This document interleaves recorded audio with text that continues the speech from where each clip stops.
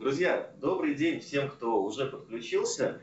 А, мы начнем где-нибудь в 12.03, буквально 3 минуты подождем тех, кто задерживается. Прямо вот в прямом эфире видим, как увеличивается количество слушателей. А, всем привет, скоро начнем.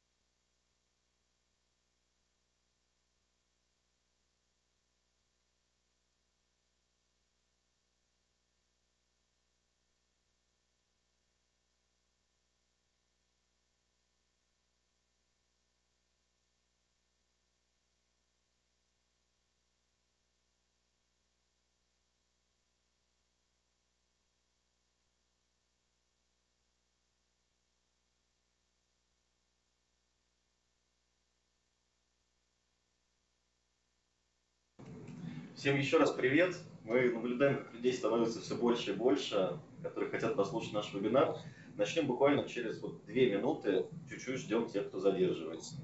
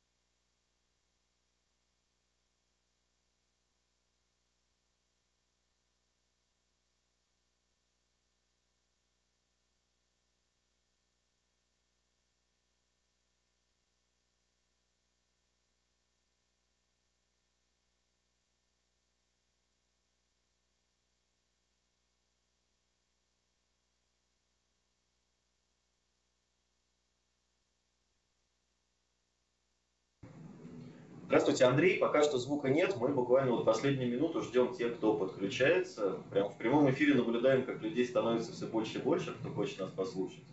Вот. Готовность 30 секунд. Расскажи э, по поводу вопроса, поступившего из зала.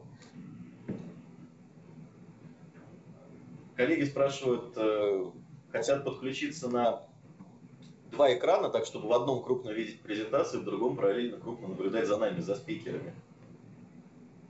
Можете это сделать, подключившись два раза с двух устройств и, соответственно, наблюдать. А вообще, каждый слушатель может сам регулировать то окно, которое хочет смотреть крупно. У вас сверху слева есть кнопочки, где можно увеличить нас, спикеров, или можно увеличить презентацию. Так что вы сами можете это регулировать. Все квакает. Ну, квакать не должно. Коллеги, э, кроме Андрея, пожалуйста, можете поставить плюсик в чате, если нас хорошо слышно, или наоборот минус, если вам что-то не нравится.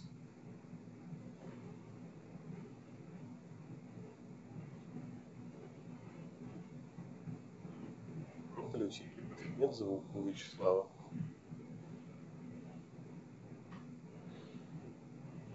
У большинства все хорошо. Пожалуйста, Вячеслав, Андрей, э, попробуйте перезагрузиться, например, проверить свое подключение к интернету. Все оттестировано, на самом деле все должно быть хорошо.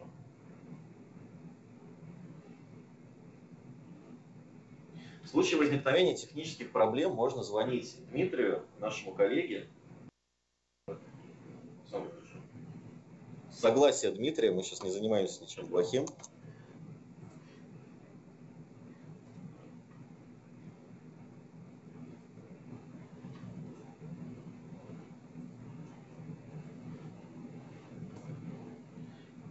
Просим, конечно, не злоупотреблять добротой заместителя технического директора компании Epimatica, но если у вас какие-то совсем критические проблемы, можно в режиме реального времени с Дмитрием попробовать их решить.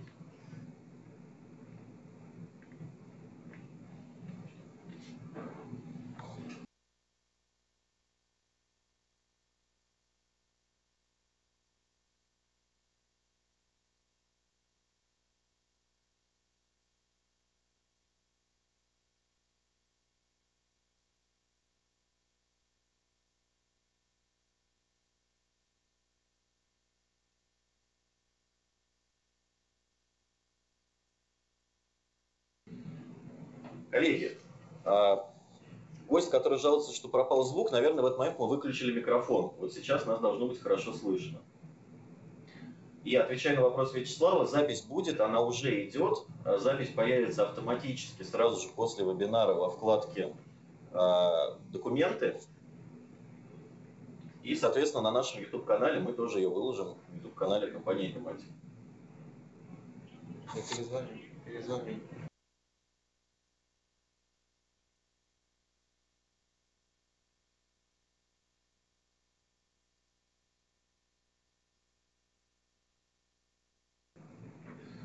Коллеги, еще раз добрый день. Э, представлю участников вебинара по вопросам IT в отелях. Э, это Илья Иванов, специалист компании Epimatica. Это Андрей Сколота, специалист по развитию, по развитию компании Epimatica. Это Игорь Чернов, эксперт по IT, специалист компании Salutec. И Анна Кошелева, Добрый день. Э, кандидат экономических наук, доцент РЭО имени Плеханова. А, мы можем приступать к началу. Давайте начнем. Конечно. Еще раз, меня зовут Илья Иванов, компания Эпиматика. Я пиар-менеджер компании. Ну, в том числе вот хочу с вами поговорить о вопросах оборудования для сферы гостеприимства.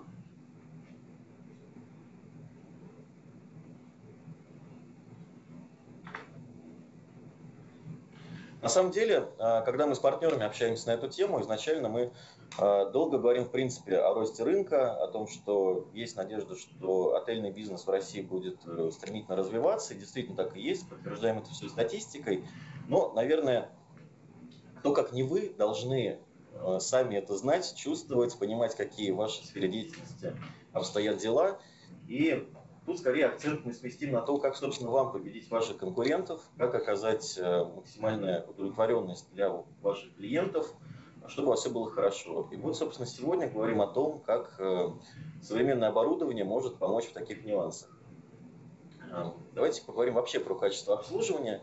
У нас, э, у нас, у экспертов компании Epimatica, у моих коллег, у меня складывается такое впечатление, ощущение по нашим анализам, что если вообще гостиница интересуется мнением клиентов, то редко когда задаются такими вопросами, как про качество Wi-Fi, а, про качество телефонной связи и все, что связано с IT-оснащением отелей. Больше отдается вопросам чистоты белья, может быть, понравился ли вам бассейн, какая была еда. Мы хотим вам доказать, что вопросы Wi-Fi, телефонии и другого оснащения не менее важны, чем все эти факторы.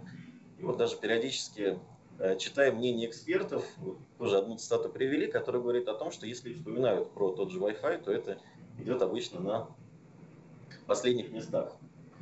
А вот нет, мы считаем, что это зря и что это действительно одна из самых важных составляющих. И в доказательство этого хотим провести некоторую статистику. Э, например, такие вещи, как четыре ключевых показателя, влияющих на оценки гостей. Соблюдение условий бронирования, быстрота регистрации, отсутствие проблем, Э, отсутствие ошибок в счете. Казалось бы, здесь напрямую пройти ничего нет. Но на самом деле все эти нюансы кроются в каждом из четырех основных пунктов, о чем будем сегодня разговаривать.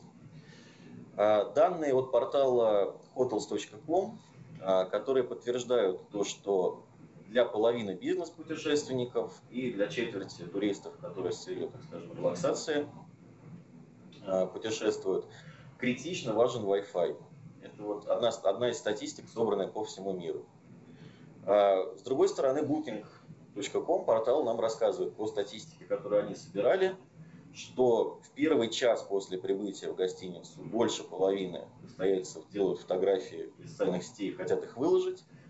Еще больший процент проверяет рабочую почту. И еще больший процент хотят заказать еду в номер по телефону или по какому-нибудь э, другому устройству, планшету, который установлен у них в номере. И, соответственно, они не могут это сделать, если у них нет средств связи с ресепшеном. При этом только каждый пятый первым делом отправляется в бассейн, что говорит о важности приоритетов для людей в современном мире. И еще один интересный момент. 45% боятся, что не будет подключения к Wi-Fi. Это один из пяти главных страхов путешественников. А, вопросы, да, конечно, задавайте в чат, мы видим все, что вы пишете, и сможем а, отвечать вам непосредственно во время рассказа. Другая статистика, которую собирал один из наших вендоров, компания DigiNet, вот мой коллега Андрей в том числе сегодня будет рассказывать про это сетевое оборудование, говорит о том, что проблемы с интернетом – это одни из самых частых проблем, которые вообще возникают у людей – и один из самых частых э, причин появления негативных отзывов. Особенно это заметно в отелях среднего класса, когда претензии у людей уже есть к месту пребывания. То есть они понимают, что это не эконом, но IT-составляющая еще не дотягивает. Это статистика по Китаю, но мы имеем все основания говорить, что в принципе по миру не сильно отличается вообще мнение людей. Все-таки все люди одинаковые, как ни крути. И еще немножко статистики. В разных местах мы искали разные данные. Вот самый большой показатель, который видели, что до 94% постояльцев отмечают наличие Wi-Fi как важный критерий выбора отеля, что без Wi-Fi они вообще не готовы где-то селиться. А, действительно, ну, мы вот с вами можем сказать, что, наверное, почти каждый из нас действительно отмечает Wi-Fi. Кому Wi-Fi не нужен, ну, там, пенсионерам, может быть, каким-то людям, путешествующим с паломнической целью, например, детям в пионерлагерях, которые, наоборот, запрещают пользоваться своими устройствами. Для большинства аудитории он, конечно, нужен. Также, конечно, и для бизнес-аудитории, и при проведении мероприятий в ваших гостиницах. Это тоже критично важно. Постараемся говорить помедленнее, когда, конечно, будем говорить непосредственно про оборудование, там все будем раскладывать по полочкам. Это скорее лирика.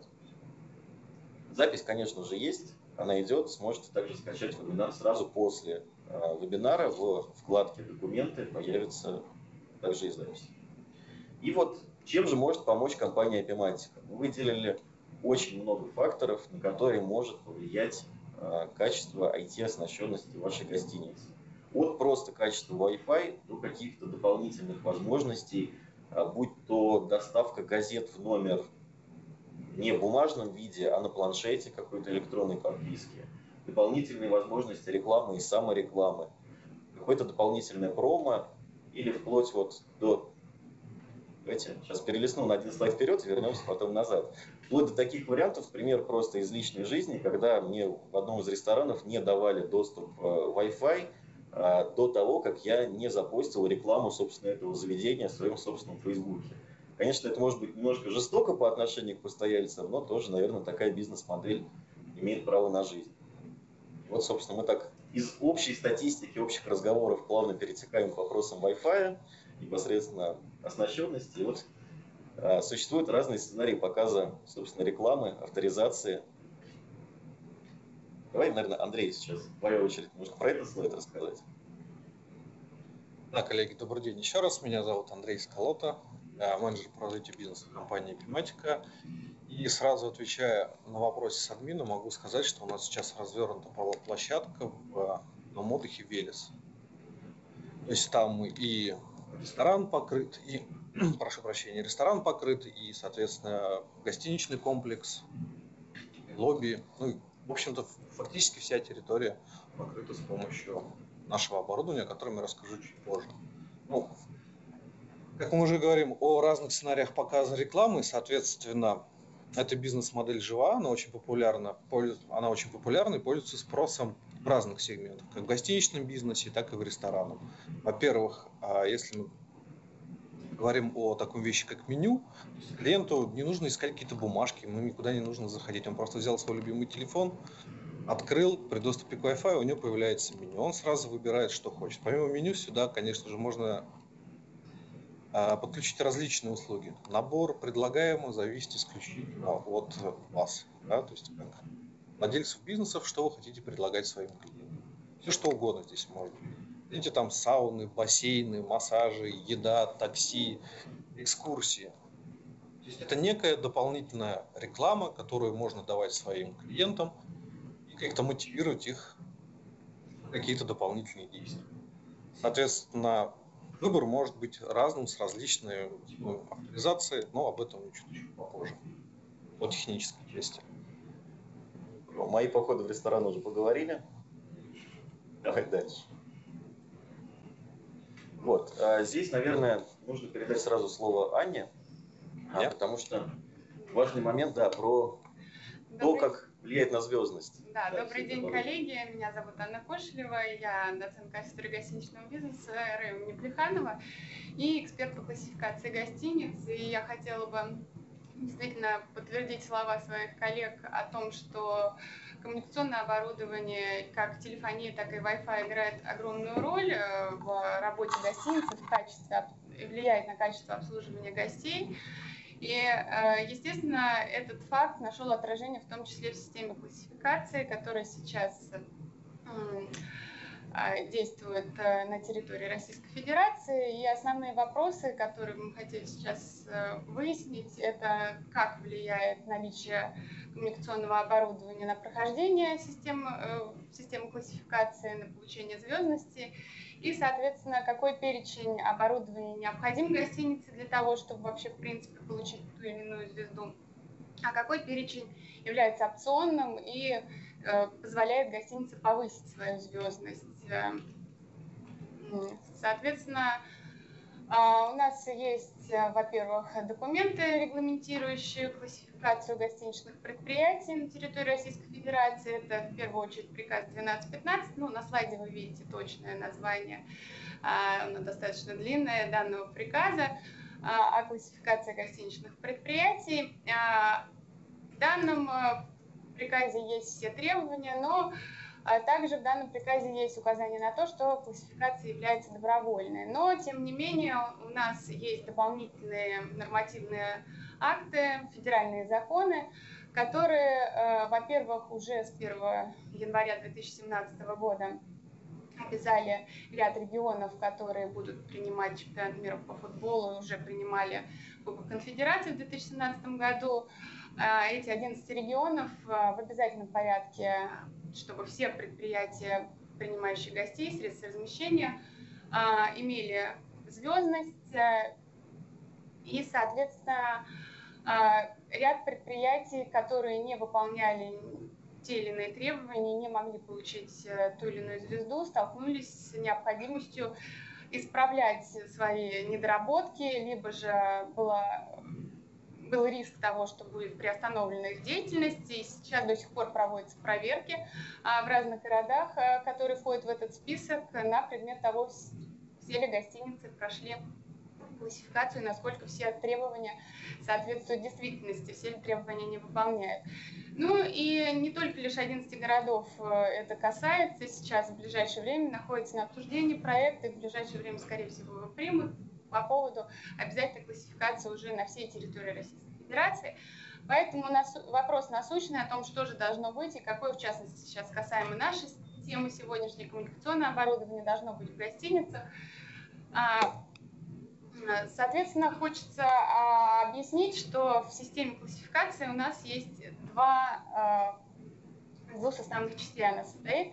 Первое – это обязательные требования системы классификации, которые каждая гостиница обязана выполнять, а, претендуя на ту или иную звездность. И вторая часть э, – это бальная оценка экспертами э, определенного качества и количества услуг в гостинице Поэтому, исходя из обязательных требований, вот на слайде вы видите а, все категории гостиниц, начиная от 5 звезд и до 5 звезд, 6 категорий гостиниц, которые у нас а, есть в системе классификации, а, имеют необходимость иметь телефонную связь.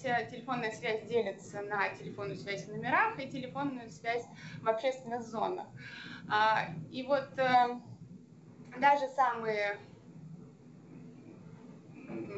гостиниц, как без, которые претендуют, в принципе, на категорию без звезд, а, все равно должны обеспечить гостей э, хотя бы внутренней связью, либо кнопкой вызова персонала. Это обеспечивает в первую очередь безопасность гостей, но, естественно, удобство гостей в случае возникновения каких-то вопросов э, к службе ресепшн, к примеру, или э, необходимости заказать какие-то дополнительные услуги и тому подобное.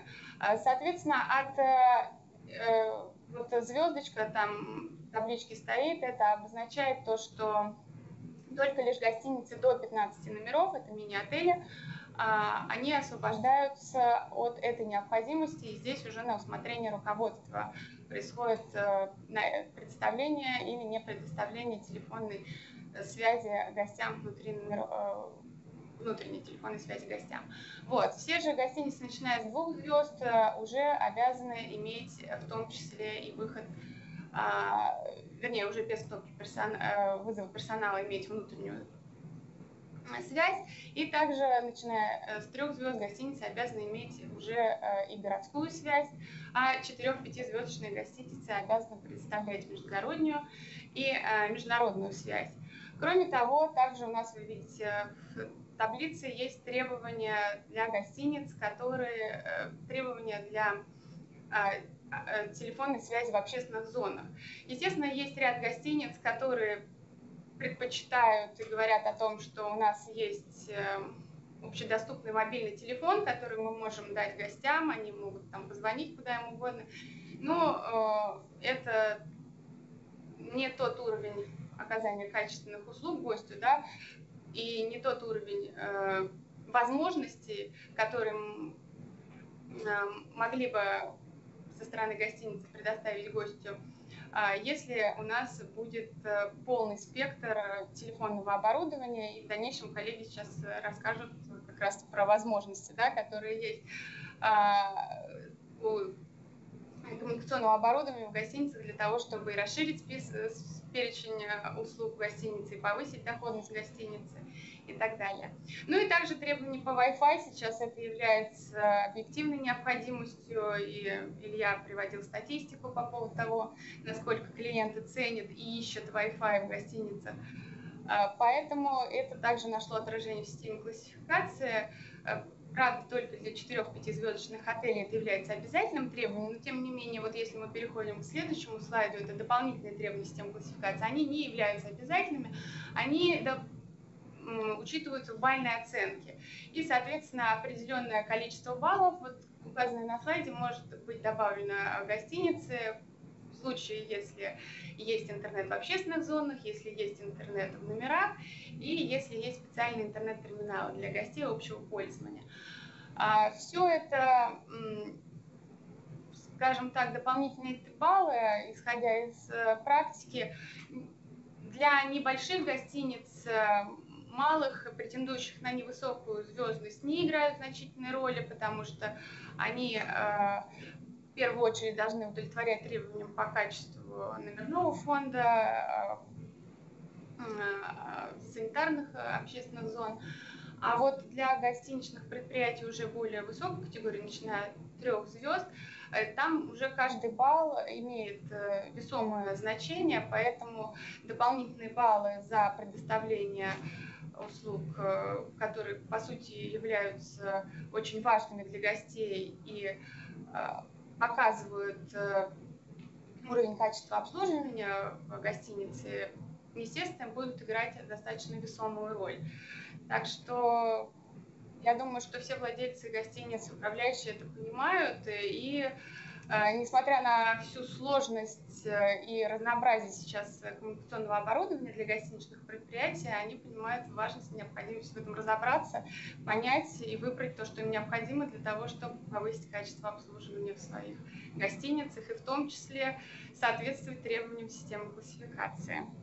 А, то есть, если, допустим, факсом никто уже не пользуется, то все равно можно его установить. Да, да, есть ряд требований в системе классификации, несмотря на то, что она постоянно пересматривается, и ряд требований оттуда все-таки с учетом новинок, появляющихся на рынке, с учетом того, что чем уже не пользуются, устраняется, но тем не менее факсимильная связь присутствует, и за это можно получить дополнительные 2 балла. Это, пока это еще осталось требование системы классификации. Пойдем дальше? Да, да. Вопрос, Вот, собственно, теперь мы уже как раз перейдем конкретно к оборудованию, про которое сегодня будем говорить, и чем мы, компания Epimatica и компания Salutec, можем вам помочь. А, вся вот эта вот коммуникационная сеть складывается из очень многих факторов, начиная с телефонных станций, которые в основе сети, шлюзов для резервирования каналов. Одни телефоны, например, вот компании Елинка стоят, соответственно, в офисных помещениях, на ресепшене, Другие специальные отельные телефоны в номерах. В номерах люкс может стоять видеотелефон для VIP-гостей. Конференц-зал оборудован тоже специальными системами видеоконференц-связи. Ну, например, та, через которую мы сейчас с вами общаемся.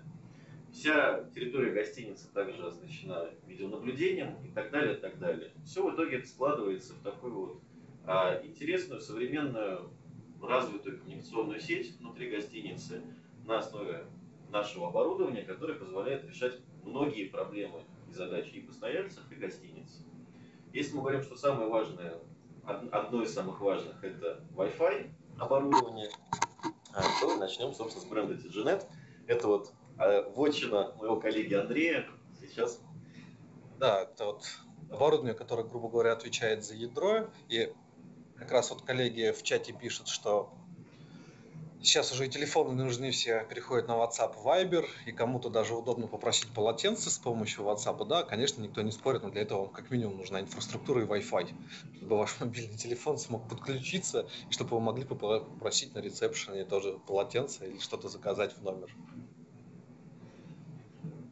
Сарказм не сарказм, но это на самом деле факт, и э, в некоторых европейских гостиницах это уже действительно есть. Я, честно, не могу сказать, есть ли российских гостиницах я еще пока не встречал. Но, тем не менее, при подключении в интернете, как мы уже говорили до этого, можно дать какую-то рекламу, и там будет просто присоединиться, вы попадаете в какую-то группу в том же WhatsApp, группу отеля, где есть э, сервис обслуживания. Вы можете там что-то попросить, и вам принесут. Итак, возвращаясь к оборудованию, фактически это ядро, коммуникации, на чем строится вся сеть, как э, и сеть телефонии можно построить, соответственно, сеть Wi-Fi и вообще в целом рабочие места, так как даже в любом отеле или ресторане должны быть люди, которые сидят за компьютерами, ноутбуками, которые так или иначе работают и что-то делают. Почему мы вообще в принципе начали работать с этим брендом в этой области? А, на нашем рынке, к сожалению, пока это еще не очень известный бренд, но тем не менее, на китайском рынке, и это очень большой показатель, данная компания имеет большое количество наград, в том числе и в области предоставления Wi-Fi услуг именно для гостиниц. Это был, наверное, один из первых и основных критериев, почему мы обратили внимание именно на этот бренд. Ну и после того, как мы, конечно же, оборудование протестировали, мы поняли, почему большое количество наград, большое количество возможностей, большое количество сервисов можно сделать с помощью этого бренда. И, соответственно, начали предлагать нашим партнерам на территории Российской Федерации, в том числе различным э, гостиничным комплексам. Как я уже говорил, один из первых это загородный клуб «Велес», в котором реализован достаточно обширная сеть, которая покрывает большую территорию. Можно сказать, что э, Wi-Fi там построен таким образом, что сеть полностью бесшовная. Человек спокойненько выходит из номера, переходит в другую часть гостиницы, например, поплавать там в бассейне или сходить в ресторан. Ему не нужно каждый раз переподключаться, и он, соответственно, не видит назойливую какую-то рекламу, да, которая некоторых людей раздражает и бесит. Сразу вопрос сисадмина из чатика ответим, чтобы потом не забыть. Статистики конкретной по России еще, еще нет, мы как раз ее собираем, может быть, при следующей встрече поделимся. Но по, по Китаю, да, как вы правильно говорите, конечно, есть а, давайте, конкретные результаты. Э, давайте скажем так, что на самом деле, скажем, достаточно большое количество партнеров у нас сейчас работает с этим оборудованием, в том числе тестируется в различных ресторанах и гостиницах. Но не хотелось бы об этом говорить заранее, потому что у нас, э, скажем так, нет конечного результата по всем основным клиентам, по всем большим клиентам. Потому что здесь есть и законодательная часть, о которой Игорь расскажет чуть позже. К сожалению, да, мы сталкиваемся и с этими проблемами. Поэтому э, мы сейчас список этот собираем. Я думаю, что в ближайшее время мы его озвучим. И, возможно, даже расскажем о тех проблемах, с которыми столкнулись при внедрении систем, если они, конечно, возникнут. Так, вопросов больше нет, поэтому давайте. Активная дискуссия в чате, что тоже приятно. А, да, давайте продолжим.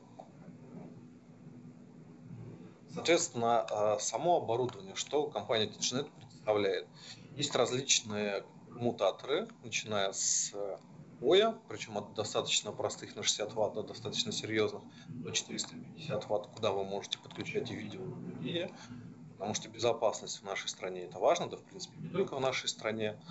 Любая гостиница, которая принимает у себя гостей, так или иначе должна обеспечивать безопасность. Да, в том числе и видеонаблюдение, если есть парковка, это всегда будет плюс, дополнительный плюс этой гостиницы, если есть дополнительные меры безопасности.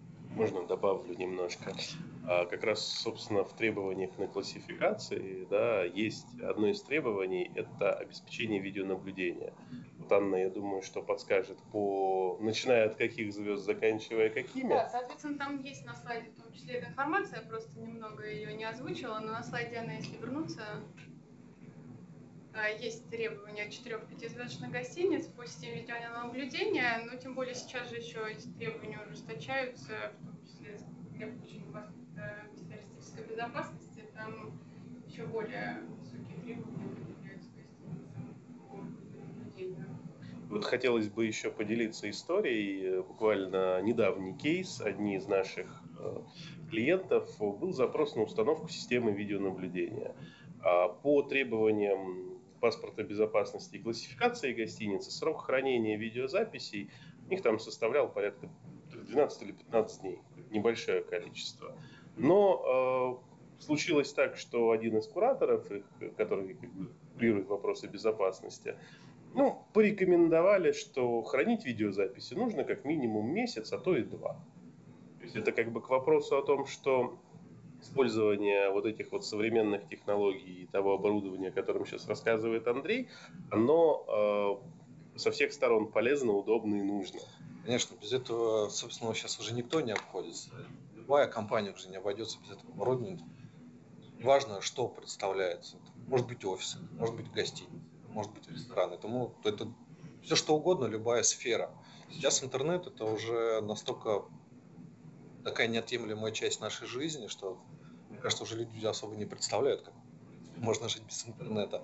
Выходя из дома, если человек забывает телефон, у него просто руки пускаются, он бежит с горящими глазами домой, чтобы обязательно забрать свой телефон. Потому что там что? Там все контакты, там телефонная связь, там интернет, там почта, там все. И э, многие на самом деле не задумываются, как это все работает. Мы хотим рассказать, как же все-таки это работает и на чем это. Итак, возвращаясь э, к оборудованию, коммутатор из POE, POE это Power Hour Ethernet, это технология, которая подает питание через э, Ethernet, и, соответственно, устройство, которое тоже поддерживает эту технологию, может питаться непосредственно от провода. В данном случае это помогает реализовывать, скажем, ту же телефонию, не нужно тянуть дополнительные провода или делать дополнительные розетки. У вас к устройству подходит всего лишь один провод, который ему подает интернет и, соответственно, питание. Лишних проводов в помещении не будет, лишних розеток делать не нужно, лишних проводов тянуть тоже не нужно. Это очень удобно и, соответственно, экономит на протяжении, на протяжке кабелей. Следующая линейка коммутаторов это уже для построения непосредственно технической сети, когда нужно объединить, скажем, компьютеры ПК, а, объединить вообще всю систему в целом, различные сервера, то есть это уже некое оборудование, которое направлено именно на маршрутизацию трафика, без дополнительных возможностей подключения аппаратов, именно маршрутизация трафика, соответственно, оно специально под это заточено, под это есть специальные настройки, с которыми любой системный администратор разберется, потому что здесь все достаточно стандартно. Следующий тип оборудования – это контроллеры. Устройства предназначены для построения э, бесшовных Wi-Fi сетей, причем от, говоря, там, от двух точек доступа до 512 точек доступа. На 512 точек доступа, соответственно, можно покрыть очень большую территорию, как показывает практика на небольшую гостиницу на этаж, там ставят от двух до пяти точек в зависимости от. Стандартный диапазон 30 метров точки с учетом стен. Достаточно легко и просто рассчитать, какое количество точек для того, чтобы покрыть весь гостиничный комплекс, весь ресторан. Ну и, соответственно, точки доступа. Точки доступа у нас есть разные, различного типа исполнения. Есть как потолочные, есть так встраиваемые стены. А, соответственно, есть достаточно простые, есть мощные. Все зависит от того, куда эти точки доступа устанавливаются, как, какие к ним есть, какие к ним есть требования. Вот, э, один из примеров это вот э, настенная точка доступа, в которой есть как э, выходы э, для подключения ноутбука стандартный RG45. Здесь также можно подключить сюда, если в гостинице, скажем, развернута аналоговая телефония, то с задней стороны есть вход для аналоговой линии, отсюда можно вывести аналоговый телефон. Таким образом, у вас в комнате сразу вы получаете и мини, мини-роутер с возможностью подключить аналоговый телефон. Здесь же есть встроенный Wi-Fi, соответственно, она может работать как Wi-Fi точка доступа. Так как она небольшая и специально предназначена для встраивания в розетку, соответственно, она будет занимать мало места. Хотелось бы акцент сделать вот на этом замечательном портике под зарядку. Да, здесь также предусмотрен USB-порт, э, соответственно, для зарядки планшетов, смартфонов, ну, любое устройство, которое у нас можно запитать от USB. Очень удобно для путешественников, у которых розетка не подходит к формату другой стороны, на самом деле. Либо как некоторые блок питания забываем. Отвечаю, отвечая на вопрос Вячеслава, да, сегодня мы предлагаем решение именно от компании TGNet, потому что, на наш взгляд, эта компания закрывает весь спектр оборудования, причем она именно настроена на работу вот с данным типом сегментов пользователей клиентов. Ну, то есть решений, скажем так, домашних решений у нее нет. Все решения сетевые, и они достаточно четко разделяются. Для чего? Для организации Wi-Fi, пожалуйста, вот вам решение для организации Wi-Fi. Эти бесшовный Wi-Fi также можно реализовать. Если вы организовываете там телефонию, тут уже можно посмотреть. Это либо а, телефония с поддержкой POE, Power Hour Ethernet с питанием, либо как бы вам не нужно, вы ее используете. Соответственно, разные для этого используются коммутаторы. Если вы хотите использовать видеонаблюдение, также есть специальное оборудование, заточенное именно под видеонаблюдение. То есть Э, компания, она достаточно сегментирована в зависимости от потребностей. Э, направленные решения на каждый из запросов. И возвращаясь к точкам доступа, есть еще вот такая достаточно простая потолочная точка доступа. Она не мощная, рассчитанная, а рассчитанная на какие-то небольшие помещения. В принципе, сюда можно подключить до 25 абонентов и на скорости до 300 мегабит в секунду можно передавать оперативать данные. Достаточно простая, ничего сложного в ней нет. Монтируется, поддерживает технологию бесшовного Wi-Fi параллельно с контроллером. Соответственно, это не все точки доступа, есть разные. Есть защищенные для улицы, есть мощные для крупных помещений или для помещений с э, большим скоплением людей, где требуется там более 20, точнее, не требуется, а возможно подключение более 25 человек и далее. Поэтому, в принципе, решение есть. Хотелось бы заострять техническое внимание, поэтому как бы, мы всегда готовы проконсультировать как компания Epimatic, компания Solutec, то есть мы хорошо совместно работаем, и мы понимаем главное, что мы вам предлагаем, соответственно, готовы вам тоже помогать как советом, так и Вопрос. Да, давайте Просят, про, про гарантию да. ответим. На разное оборудование срок гарантии, конечно, разный, но до трех лет, э, в том числе на оборудование А, давайте я немножко добавлю по поводу гарантии. Естественно, да, компания Epimatica дает гарантию на это оборудование, причем нужно сказать, что у нас сеть сервисных центров по всей России, поэтому проблем не будет.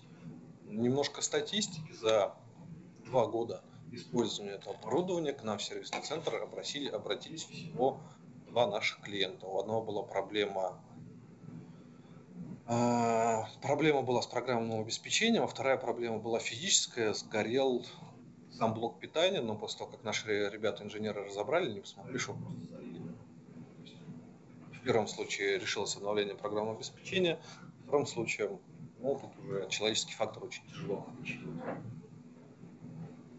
Вячеслав спрашивает, насколько быстро можно заменить в случае чего, в случае поломки. В поломки. Ну, обычно, если вы обращаетесь в сервисный центр, то это один-два дня.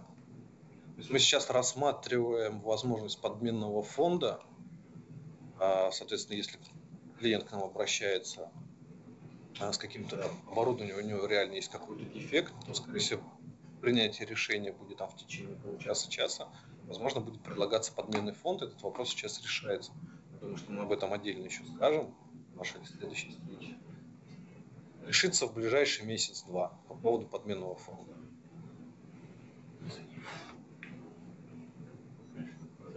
Питание, чего? Папуи или же придется ставить... Какой вопрос? Самый последний. Последний вопрос. Э, по поводу... Вашему обороне точно хватает питания попоя или же придется ставить какие-то ИБП, если, пере... если есть перебои в электроэнергии?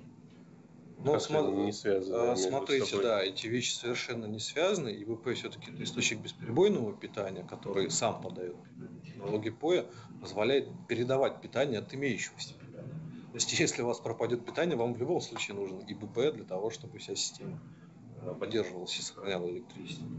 Технология ПОЯ, она где-то берет питание и куда-то отдает.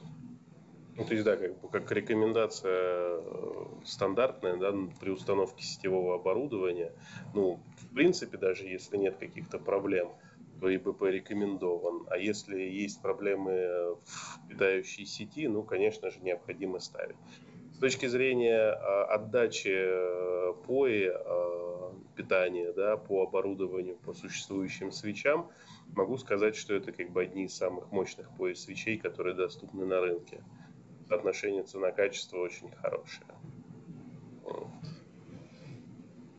У меня вопрос тоже есть, больше, наверное, по наблюдению, по видеонаблюдению.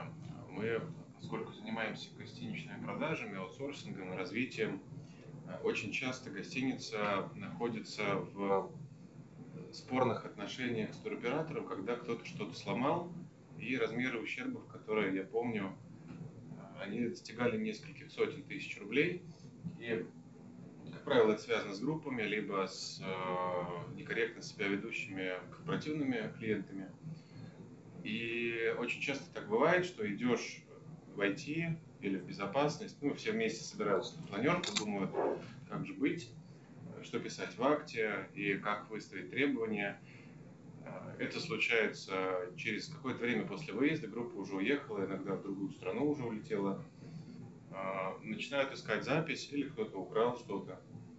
Начинают искать запись, и оказывается, что ее нет, потому что прошло две недели. Э, к сожалению, многие разборки начинаются спустя две недели. Как правильно подойти вот к этому вопросу? очень редко встречал какое-то внятное решение, которое недорогое и правильное, чтобы мультик все-таки был, э, но он не был сам по себе удален с сервера случайно по прошествии времени. И он всегда оказывается удален, когда он нужен. Ну, это, наверное, история про... Это вопрос постпродажного обслуживания. Когда ты уже продал, дальше все сломалось, и надо что-то делать. На самом деле, это история даже не про постпродажное обслуживание, а это история про проектирование. Это то, о чем вот я говорил. Ну, с моей стороны, это, это продажа. Да, но Но по факту ты это нужно... сделку, то все. По факту нужно спроектировать правильную систему. То есть, если мы говорим о системе видеонаблюдения, которая там по, по рекомендации должна 12 дней хранить, да, как бы, ну, правильно и здорово будет рассчитать так, чтобы ключевые видеозаписи хранились достаточно длительное время, хотя бы месяц. Ну и здесь есть оборотная, как с точки зрения инженера могу сказать, есть оборотная сторона медальки. Ну как бы когда вспоминаешь о том, что что-то произошло через две недели, это как бы не очень хорошо. Скорость реакции должна быть немножко шустрее. Ну, как бы вот так А вот. насколько это дороже может быть, например, или сложнее? На самом деле общая стоимость всей системы увеличивается, там, может быть, на 10-15%. То есть В рамках э, всего комплекса это не такие большие инвестиции. То есть имеет смысл подумать о расширении инфраструктуры или правильном ее проектировании, чтобы потом не бегать и не думать, что делать. А это зависит от той ситуации, в которой находится инфраструктура данного конкретного объекта. То есть, если там уже что-то выстроено, ну, где-то можно что-то расширить, что-то добавить, какой-то провести апгрейд, заменить частично, например, оборудование.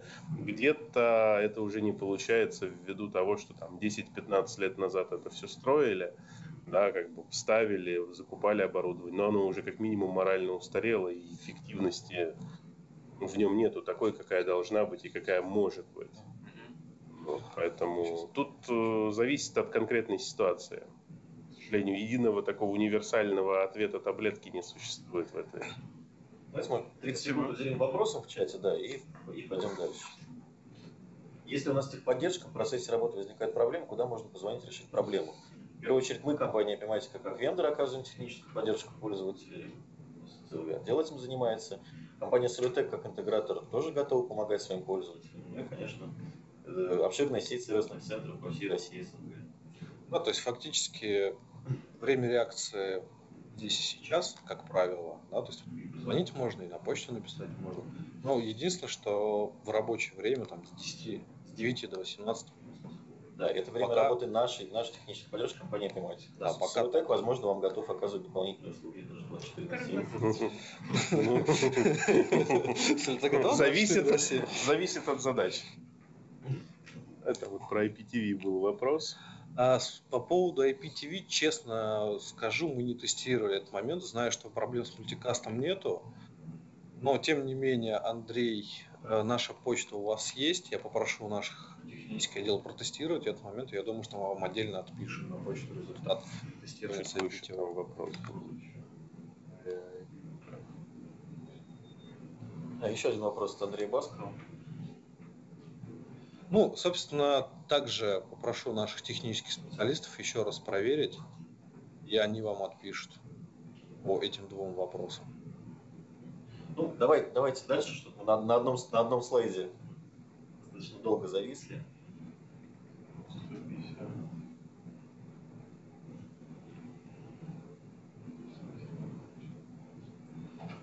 А, коллеги, да, да, раз мы на все вопросы ответили, давайте все-таки продолжим. И возвращаясь к точкам доступа, есть такой маленький приятный момент, что точки доступа могут быть различных цветов. А, Соответственно, эти точки доступа могут быть как с открытой крышкой, где выводятся все разъемы для подключения, так могут быть и закрытой крышкой и разных цветов, что можно подогнать Что можно подогнать под стиль комнаты. Ну, соответственно, это красиво. Дополнительный бонус, скажем, если у вас какие-нибудь а, в ярких цветах стены и повесить туда либо черную точку доступа, либо белую точку доступа, наверное, будет не очень красиво. Конечно, вплоть до того, что на разных этажах можно стоять разного цвета. Это... Ну да, естественно, в каждом номере можно ставить разного цвета. То есть при заказе а это все обговаривается. Если есть такая потребность, то, собственно, вендор готов идти на встречу и делать в различных цветах. Мы считаем, что это тоже некий дополнительный плюс, как дополнительная вариативность при выборе оборудования.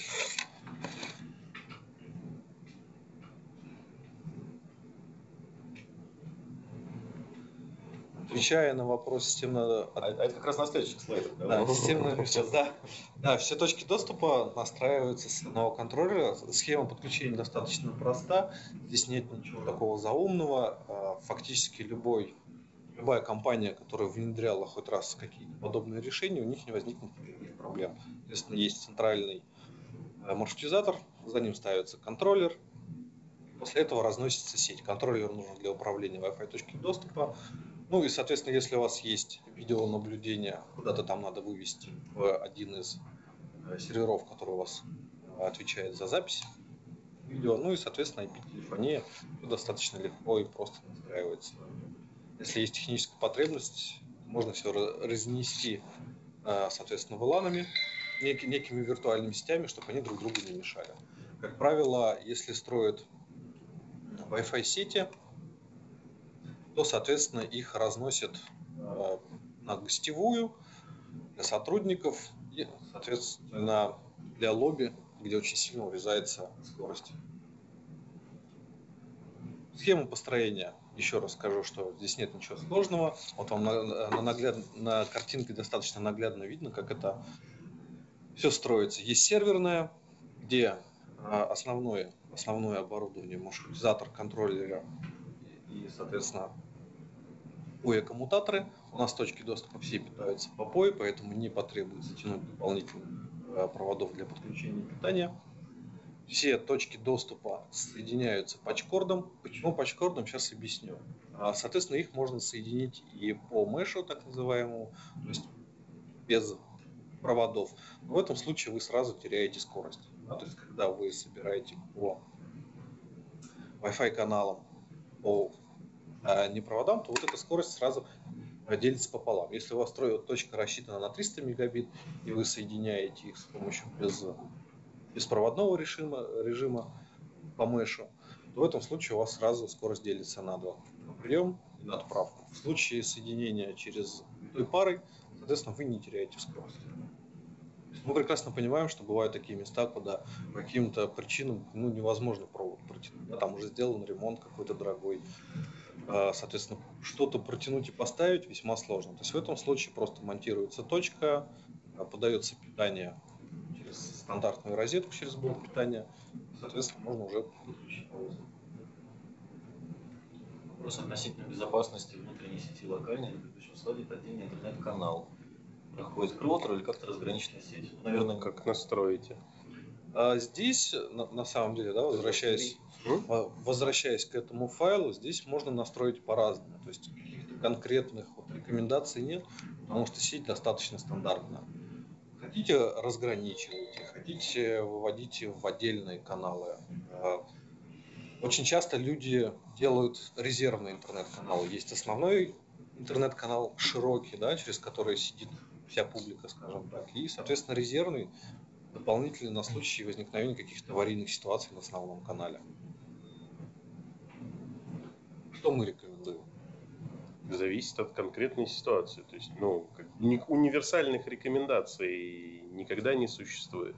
Зависит от того, какие у вас цели и задачи. Если у вас задача построить там сеть исключительно для гостей, это одна конфигурация. Если при этом еще должны быть отделены сотрудники, да, мы там говорим о безопасности персональных данных и так далее, да, здесь уже другая история, по-другому конфигурируется. Это все, то есть, ну, как бы какого-то одного, какой-то одной рекомендации здесь дать невозможно. И вот, кстати, вопрос по поводу веб-интерфейса контроля, да, конечно же, имеет, но... Да, соответственно, все оборудование имеет свой веб-интерфейс, но на самом деле командная строка тоже доступна, кому как удобно. Кому-то удобно настраивать через веб-интерфейс, кому-то удобно настраивать через э, командную строку. То и то есть. Ну, и как мы уже говорили, а, в нашей стране есть а, обязательные требования к Wi-Fi сетям, в том числе аутентификация. Игорь расскажет об этом более подробно. Да, спасибо. Собственно, а все, наверное, уже слышали. Кто не слышал, им рекомендую прислушаться к этому. О том, что с, достаточно давно уже у нас в рамках закона о связи, в рамках закона о противодействии террористическим действиям а, было внедрено такое требование о идентификации пользователей общедоступных Wi-Fi. А, за это с 1 июля 2017 года, скажем так, упростили а, методологию сбора штрафов. А, собственно, раньше для этого необходимо было привлекать представителей прокуратуры. Сейчас Роскомнадзор может выписывать это, эти все штрафы самостоятельно. Штрафы доходят до 300 тысяч рублей. Там, юридических лиц от 100 до 300. Вот. При этом требование как бы достаточно простое. А, если кто ездил, например, в метро в Москве, видел, как это реализовано. А, для того, чтобы не попасть в эту ситуацию, не попасть на эти высокие штрафы, у нас существует решение, которое можно применять. А, Причем это решение позволяет вам не только соответствовать требованиям закона, но еще и получить определенные свои маркетинговые выгоды. А, по поводу, ну вот, собственно, требования о том, что необходимо обязательно идентифицировать пользователей вашей Wi-Fi сети.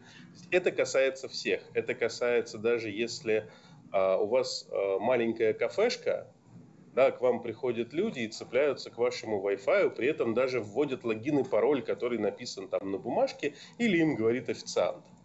А, де-факто это сеть Э, является по предоставлению интернета всем. Поэтому вы попадаете под требования этого закона. Есть несколько вариантов Wi-Fi идентификации. Э, он закон о наказании, отсутствие ее нет, закона максимум. Ну, вообще-то отдельного закона о наказании не существует. Есть требования которые прописаны в нормативных актах, там указаны все эти штрафы. Позже могу ссылки на это прислать. В этом можете не сомневаться. А, возвращаясь к тому, как работает система. Система работает, э, первый вариант, это авторизация через СМС. А, очень удобно, очень эффективно, быстро работает. Это отдельное решение, у пользователя выскакивает окошко, в которое тут вводит свой номер мобильного телефона, в ответ ему приходит смс -ка. А, дальше следующий вариант – это идентификация с помощью звонка. А, здесь есть плюсы, есть минусы. С одной стороны, это позволяет э, уменьшить затраты на идентификацию, потому что смс, как в предыдущем варианте, они оплачиваются, ну, собственно, тем той компанией, той, тем заинтересованным лицом, который предоставляет этот доступ в интернет. А с помощью Caller ID э, клиент получает номер телефона, на который он делает дозвон, это чаще всего 8800. А, этот звонок идет и для абонента бесплатный, и для компании, которая предоставляет, а, собственно, идентификацию. Ну, как бы это просто немножко по-другому работает. А, вот, собственно, давайте, да, по, по ходу на вопросы. Решение интегрируется с ПМСами? Да, интегрируется. На данном этапе бесшовная интеграция существует э, с питерской разработкой ваучеры. Ваучеры тоже. Я так не успеваю быстро. Что, в WhatsApp вопрос прилетел. Я его продублировал. Да. А, Давайте по, по очереди на все ответим. Да, значит, интеграция с ПМС сейчас это с питерской ПМС дорабатываем. Э, на этапе тестирования. В ближайшее время анонсируем, когда это будет э, система работать хорошо и надежно. А, по поводу идентификации по СМС. Да, СМС за каждого постояльца определенных денег. Чаще всего это полтора рубля за СМС. Именно поэтому я и говорю о том, что существует альтернативное решение. Это именно идентификация по Caller ID. Есть ли ваучеры? Да, ваучеры есть. А, способ с выписыванием ваучеров позволяет вам а, идентифицировать, например, большие группы гостей. То есть вы понимаете, что у вас заезжает автобус с гостями, да, вам его нужно быстро поселить и идентифицировать, чтобы они могли спокойно сидеть уже в кафе, в ресторанчике вашем, пить кофе, кушать, отдыхать и при этом сидеть в интернете. Потому что мы знаем прекрасно, что каждый гость будет подходить и просить, а мне нужен интернет, а дайте мне пароль на Wi-Fi и так далее. И не забываем еще с вами такую тонкость, что иностранных граждан – мы с вами можем идентифицировать исключительно по документу, удостоверяющему личность иностранного гражданина. То есть варианты с идентификацией по телефону, они здесь не проходят по закону. А, следовательно, для иностранцев у нас с вами самое простое решение – это ваучер.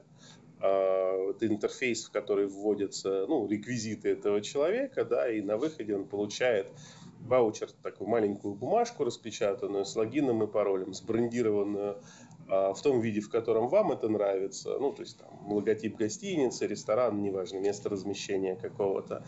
Все это выглядит красиво, аккуратно и работает очень эффективно. Если 100 тысяч постояльцев, 100 тысяч рублей будет платить за Собственно, об этом и идет разговор, что если 100 тысяч постояльцев, ну не 100, а 150 примерно, полтора рубля за СМС. Вот, да, поэтому как бы для больших объемов предлагается решение либо с Caller ID, либо с ваучером. А, вопрос телефонистам. Ну, ну это что-то совсем немножко не в сегодняшнюю тему, мне кажется. Да нет, на самом деле нет, даже можно сказать, что... Ну, знаешь, как говорят, я же эксперт. Не, мы готовы ответить, но мы тут пока про авторизацию говорим. Я вообще ни одного слова не понял, кроме коротких, э, коротких номеров для коммуникации. Ну, на самом деле вопрос FMC ну, скорее не подходит для гостиниц, чем подходит, потому что вы же не будете оставлять в номере мобильный телефон с симкой, правда? Если у вас его просто кто-то уведет. То есть, если, если дек трубку, ну, могут, конечно, украсть, бесспорно, но что в итоге он будет с ней делать?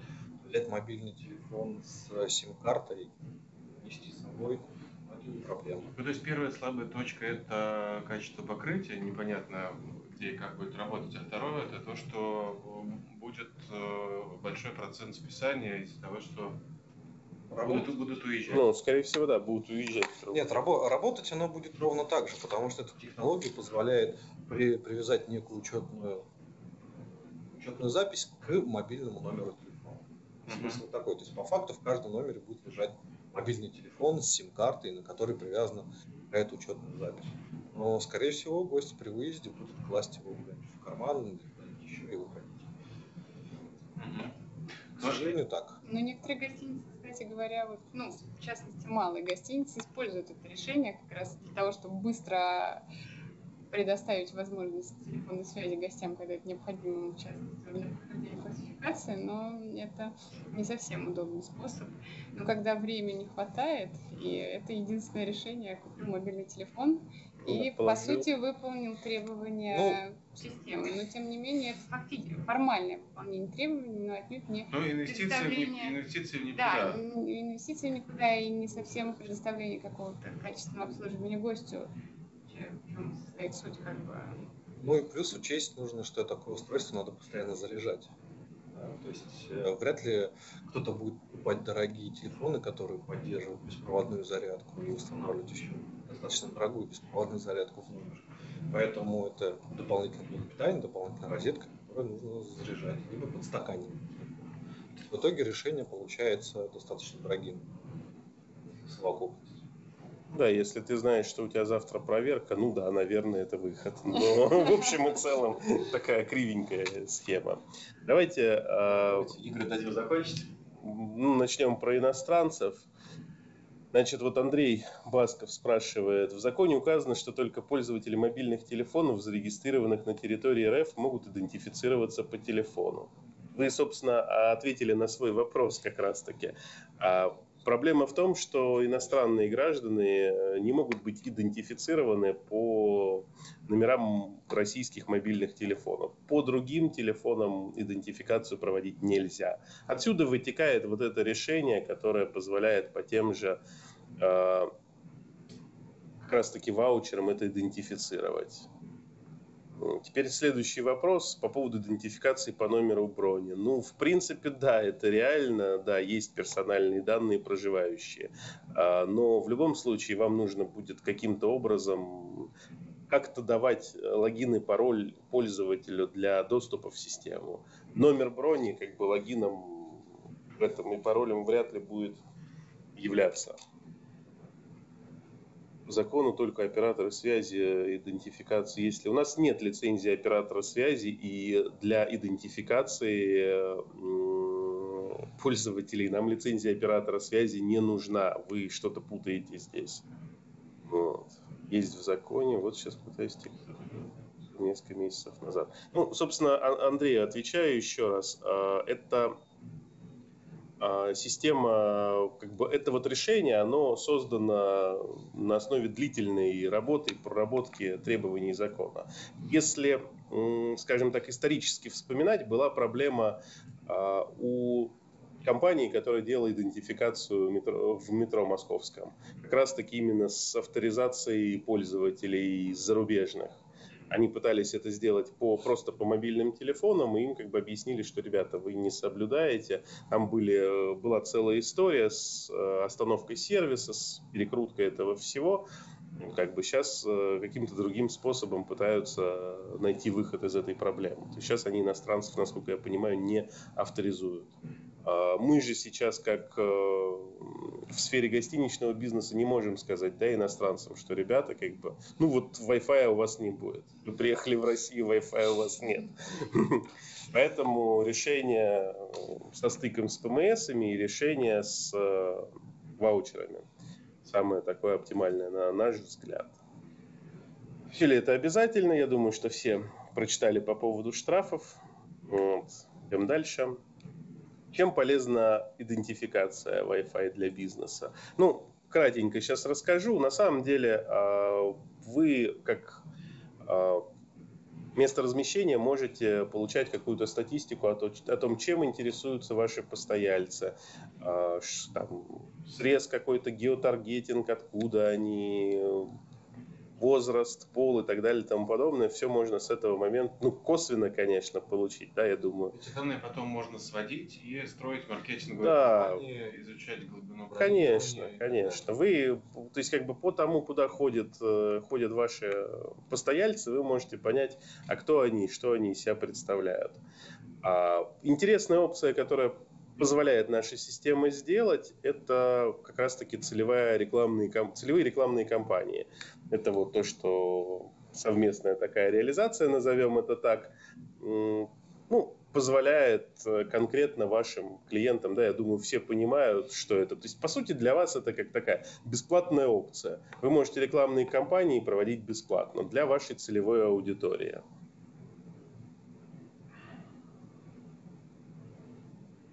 Ну, Вячеслав, давайте не будем сейчас вдаваться в э, юридические тонкости. Э, с точки зрения законодательства все требования соблюдены, и вы можете пользоваться этой услугой без каких-либо проблем.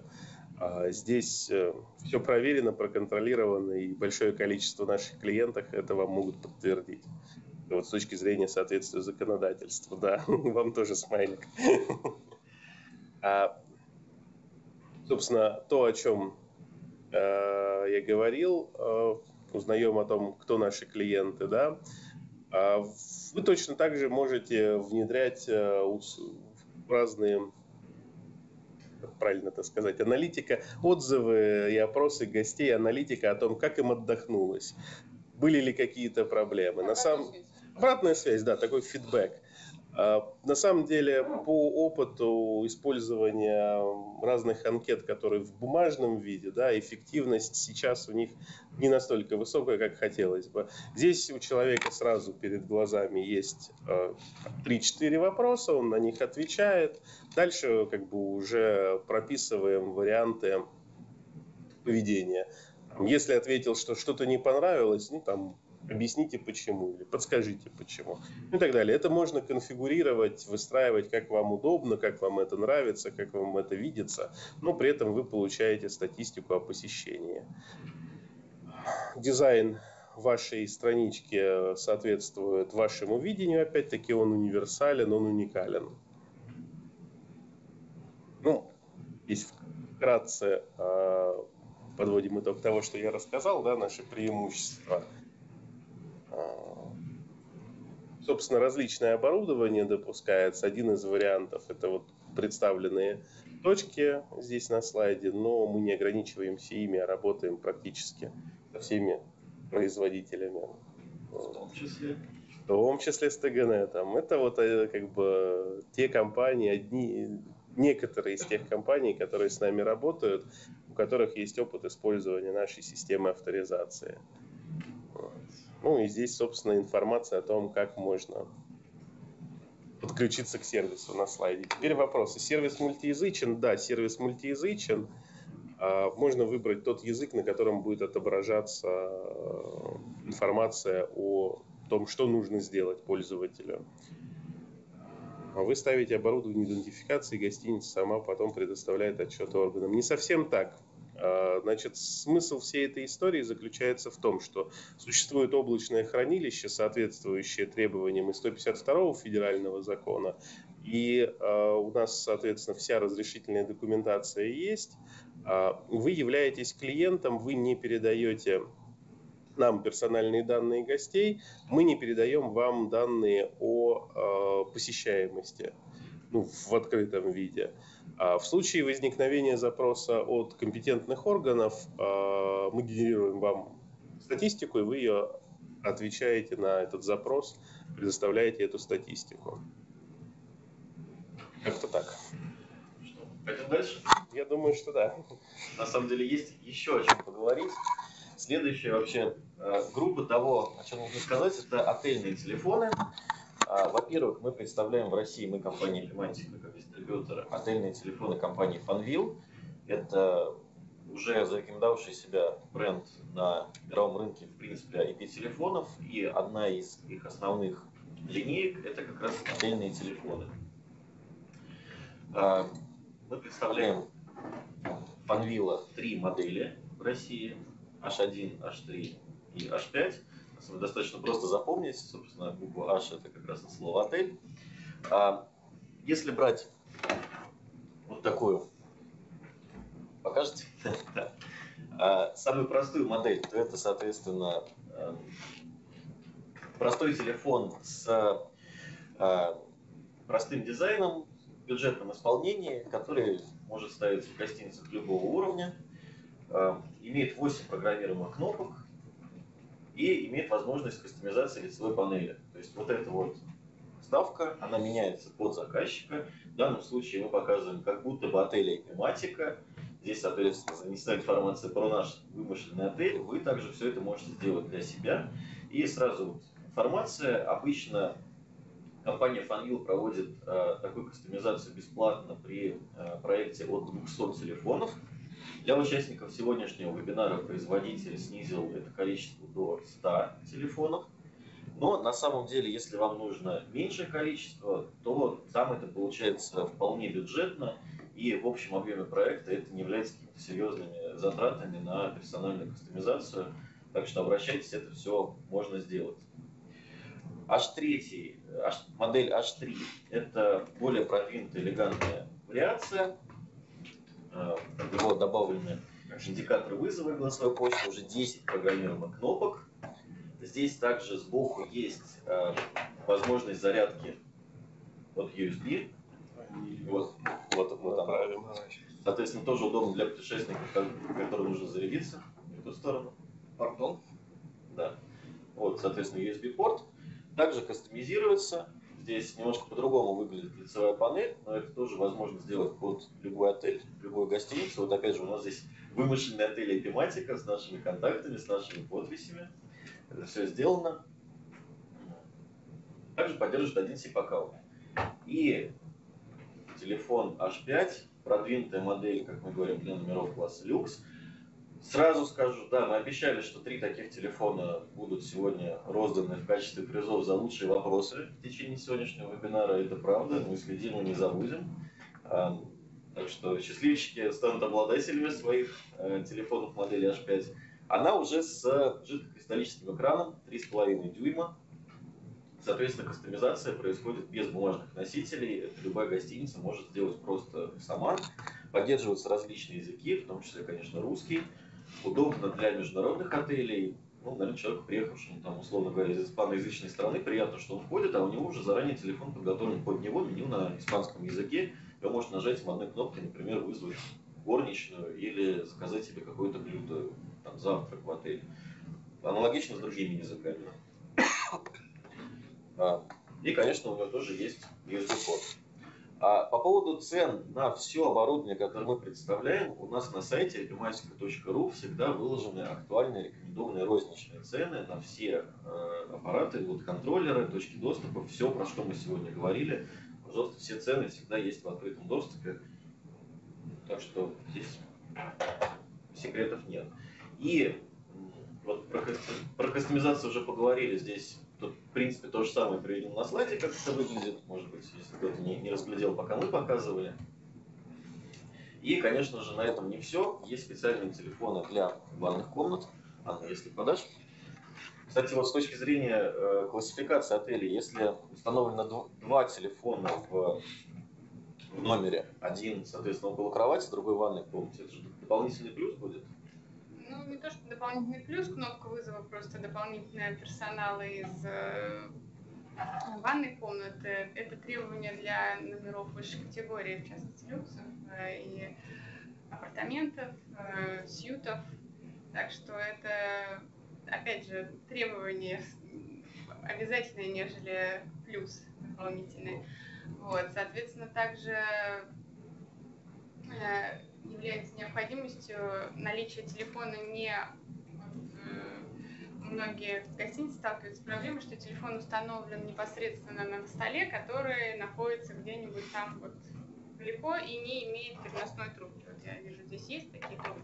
Вот переносная трубка обязательно должна быть, если телефон установлен не около кровати. Либо же телефон должен быть обязательно установлен около кровати, э, чтобы гость имел к нему доступ телефоны с переносными трубками у нас, конечно, тоже есть. Да, телефоны, сейчас чуть-чуть попозже про это тоже поговорим.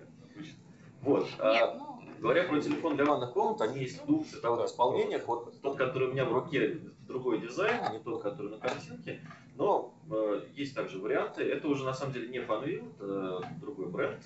Мы буквально через неделю будем официально объявлять о старте продаж в России, но сейчас уже э, заказы на проекты принимаются.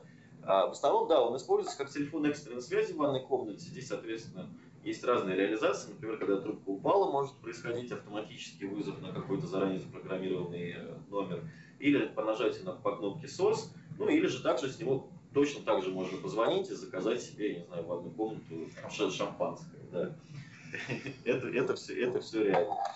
А, подходят они, в принципе, не только для гостиниц. Например, вот в больницах э, можете видеть ну, классический такой кадр из каких-то американских сериалов, когда там медсестры разговаривают примерно по такой же формации телефонов. Так что а, свое место в нашей жизни он находит. И отдельная группа продуктов, также уже принимаем заказы на них, это Wi-Fi IP-телефоны, они позволяют не проводить дополнительную разводку, не проводить сеть в каждый номер, а, но при этом оснастить а, каждый номер современным оборудованием, то есть они работают по, по, по Wi-Fi, не по кабелю, что также для многих может быть важно, важно и полезно.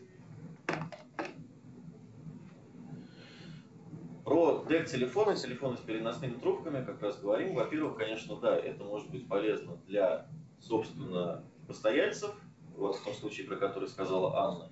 Но и для самих гостиниц, для работников это также важно, потому что именно с помощью оборудования Гигасет можно создать микросотовую сеть на всей территории гостиницы. И, соответственно, а, перемещаясь с этажа на этаж, с парковки в какую-то там комнату персонала, а, сотрудники, которые должны перемещаться по своим обязанностям, горничные, охранники, они всегда будут на связи. А, звонок не будет теряться при перемещении от одной э, точки к другой.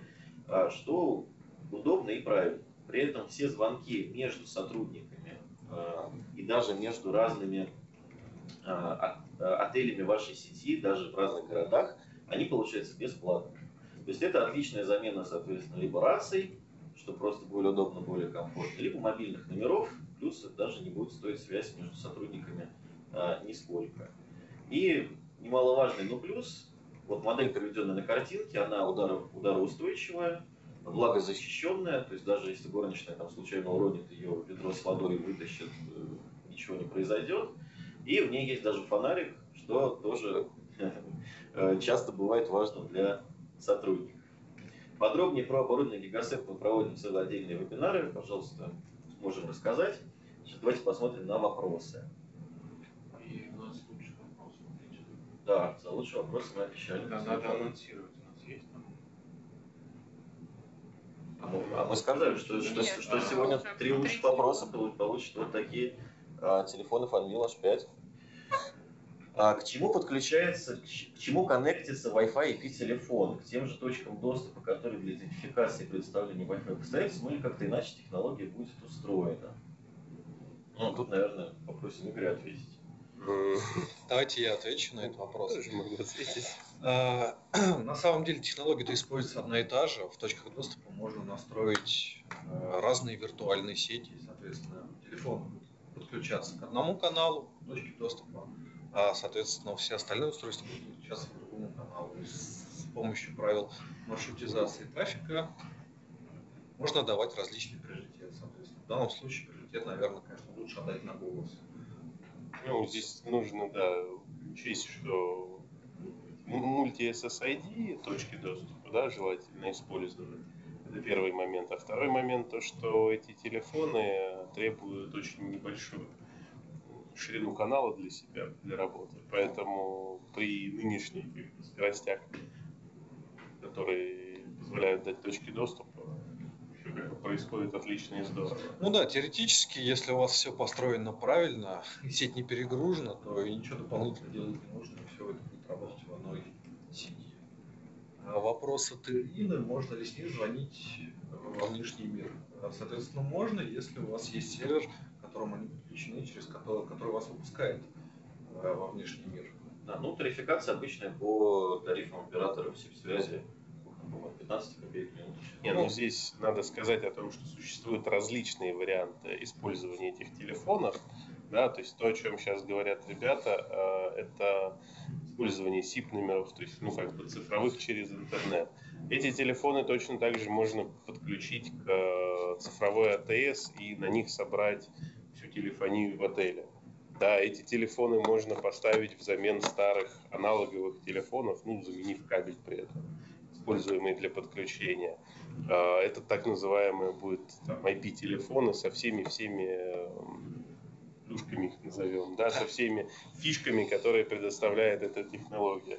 Вот здесь вот за нами как раз-таки э, есть фотографии тех устройств, которые это все дело объединяют в себя, ну и позволяют в дальнейшем и во внешний мир звонить, и внутри использовать, и объединять там, например, э, несколько... Ну, есть, существует, например, один собственник, да, две гостиницы, одна не в одном городе, другая в другом городе. Мы их можем через интернет объединить посредством вот этих телефонов и вот этих вот IP-ATS. И они будут бесплатно между собой разговаривать, это будет внутренняя сеть.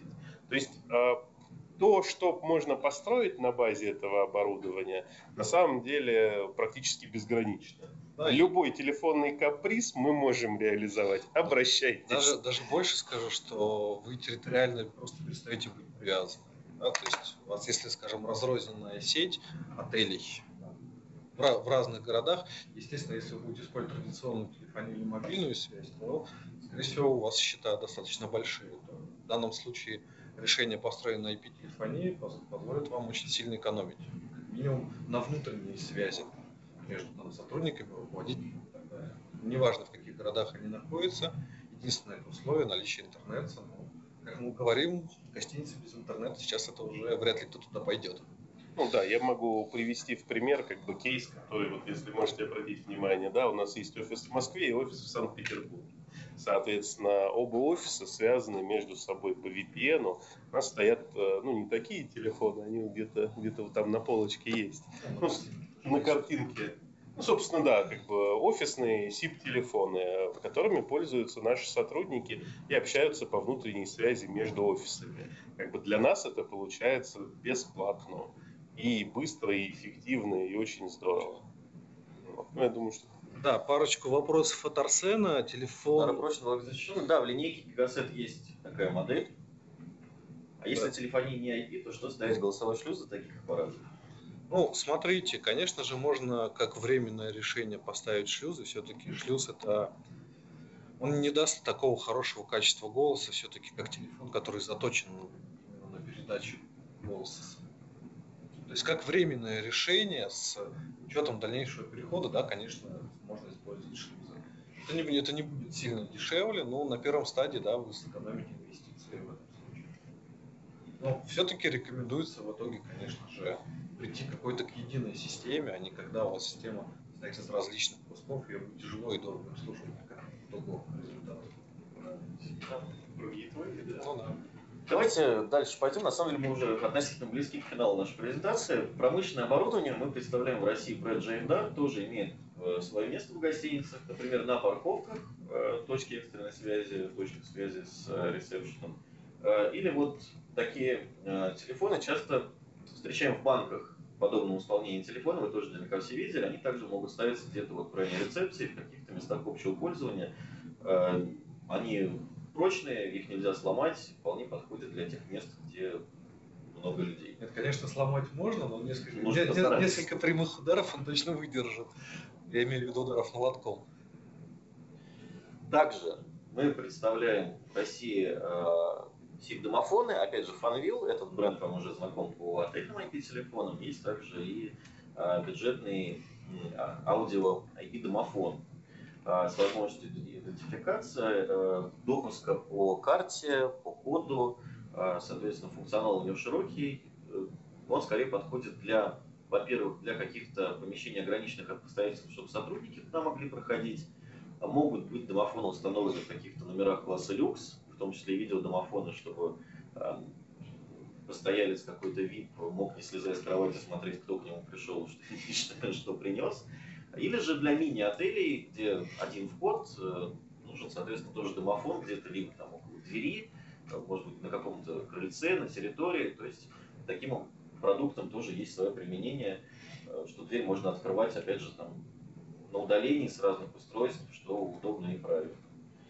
Про видеонаблюдение сегодня также уже, в принципе, говорили, что это тоже нужно.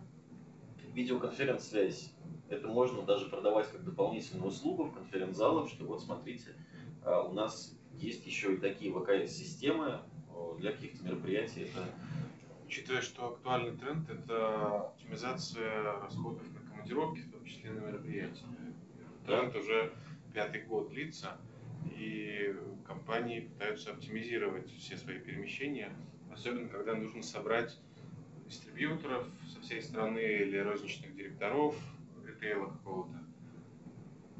Раньше это было сложно продавать, потому что они не понимали, зачем это нужно, и пытались по скайпу связываться.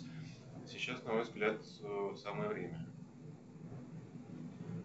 А, вопрос про домофон это хорошо. У нас тут техподдержка не 24 на 7. Ну, на самом деле, я не знаю, что такого может случиться с домофоном. На самом деле, достаточно простейшее устройство, с которым вероятность э, того, что с ним что-то случится, ну, крайне мало. А, то есть он не сложнее настольного телефона. Домофон, который работает на вход, в любом случае есть система защиты. Если он по каким-то причинам перестанет работать, то, естественно, замок разомкнется. Да, решение проблемы, ну, перезагрузить это на 2 минуты. Вероятность того, что он сгорит, ну, настолько мала, что, ну, если только молния, конечно, его не ударит. Так, опять же, мы как э, дистрибьюторы оказываем поддержку в мере своих э, возможностей, оказываем ее бесплатную для пользователей. Вы можете у системного интегратора, который реализует ваш проект, заказать дополнительную услугу техподдержки вплоть до 24 на 7. То есть это зависит от ваших потребностей, возможностей и желаний. Э, Про АТС от Ястар уже поговорили, на самом деле, и, конечно, IP-телефоны от E-Link, один из наших любимых брендов, но в гостиницах чаще он имеет применение где-то на ресепшене. Э, В офисных помещениях, то есть, конечно, в самих номерах э, предпочитают ставить специализированные отельные телефоны, про которые мы уже говорили. И последний пункт на этом слайде, на самом деле, здесь можно говорить часами и днями про платформу 3CX. Ну вот, про этот коннектор для интеграции с PMS сейчас Ну, Андрей расскажет. На, на самом деле, я буду краток. Вот, у нас есть два различных решения именно для отелей. Э, Соответственно, для отелей, которые уже вложили какие-то свои средства в PMS-систему, но при этом хотят получить все бонусы и плюшки IP-телефонии. Соответственно, для этого у нас есть платформа 30X, которая достаточно легко, ее можно коммутировать различные PMS-системы. На самом деле об этом действительно можно говорить очень долго. Я просто хочу сказать разницу. Да? И второе решение, это решение от eStar, соответственно, это вот этих вот самых АТС, которые у нас на картинке на заднем плане. Но здесь уже самостоятельная мини-ПМС-система, которая рассчитана, ну, скажем так, не на очень большие гостиницы. 300-400 номеров она вполне готова содержать.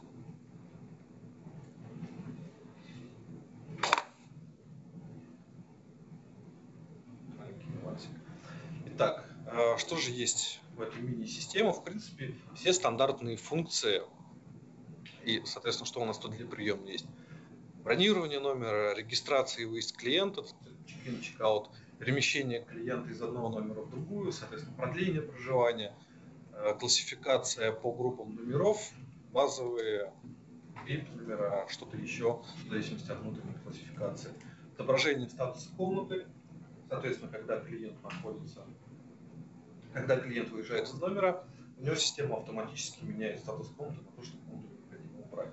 Клиент выехал, статус поменялся, ответственный за этот человек видит, что комнату нужно привести в порядок для заезда следующего клиента. Также можно в системе предусмотрена система тарификации.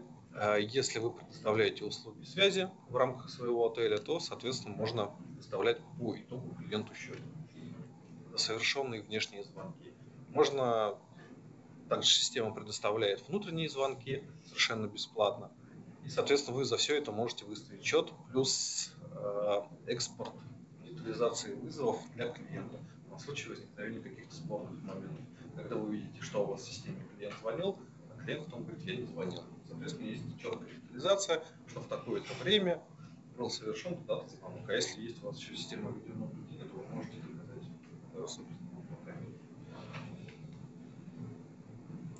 И, соответственно, вторая часть – это функции для самих клиентов. Здесь можно осуществлять внутренние вызовы как между номерами, соответственно, вызовы на ресепшены, вызовы вовне, если отель вам предоставляет такие возможности. Изменение статуса комнаты с э, телефона, который установлен в номере, соответственно, нажатием там одной или двух кнопок, в зависимости от того, как запрограммировано, то постоялец может дать понять ресепшену, что в комнате нужно убрать. То есть фактически постоялец уходит, нажимает кнопку и пошел заниматься своим делом. Бассейн, тренажерный зал или завтракать. То ответственные люди на ресепшене видят, что клиент покинул номер и просят, чтобы его номер убрали. Соответственно, принимают соответствующие меры. Соответствующие меры – это скорость реакция, в итоге это улучшение сервиса, и в итоге клиент будет доволен, конечно же, повернется. Есть различные дополнительные функции, как звонок-будильник, когда клиент э, может сам заказать, во сколько ему на телефон придет звонок, ну и будет проигрываться определенная мелодия, либо какое-то сообщение. Желание клиента, это все настраиваемо.